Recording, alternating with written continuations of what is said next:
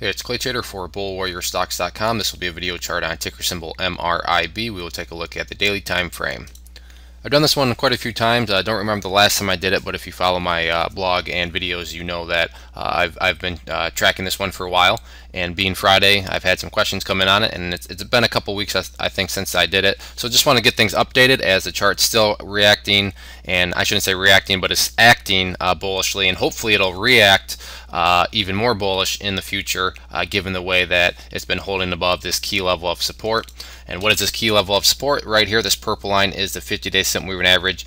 And I'm not going to count them, but you can see multiple times the bears have tried to uh, push the price down below and the bulls have just had none of it uh, most recent was yesterday you can see uh, bulls came right down in there but by the time the closing bell rang uh, the price had uh, gotten pushed all the way back up there and then today very nice uh, Green Day, almost a, a, repeat of yesterday, meaning you know the Bears pushed the price down, didn't qu go quite as low, but then uh, by the time the closing bell came around, the Bulls fought all the way back, and not only got it back to even like it was yesterday, but pushed above and closed green on the day. So. Uh, some just uh, interesting price action and good to see that every time the price drops down into this area uh, you know it seems to get pushed right back up so uh, on that note like I said uh, 0.0111 looks like so 0.0 and then three ones is going to be the key level of support right now. Again, that's because that is the 50-day simple moving average. If you were to ask me what would make the chart look the absolute strongest support-wise, my answer would be if it can hold above uh, this support level here at 0.0126, that would be the ideal situation. Again, it, it's not a must hold, but if it can hold above 0.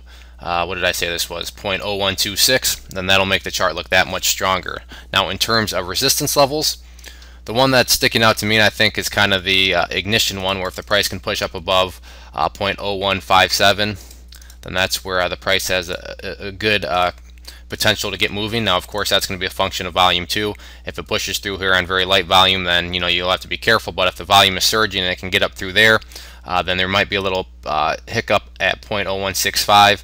But get through there, so I guess I should probably note that. So we have a little resistance zone between 0.0157 and uh, 0.0165 but after that resistance zone you can see uh, things really start to clear out and there's really nothing until you know up in this area here in the you know 0.023 range. Uh, so some nice potential here for a breakout and run. So that is where the chart currently stands uh, and that's all I have for it. What I would like to do now is direct your attention down here. This is my private trading group and if you haven't checked it out or heard about it yet it's, it's still relatively new. I'd encourage you to look into it. What it is is just a group of traders from beginners all the way up to advanced traders and it's a, a good little environment to learn in. Or if you're an advanced trader I send out weekly trade ideas so it's a, a good way to get some additional thoughts to whatever your uh, trade ideas for the week are. So it's been getting good reviews. You don't have to take my word for it.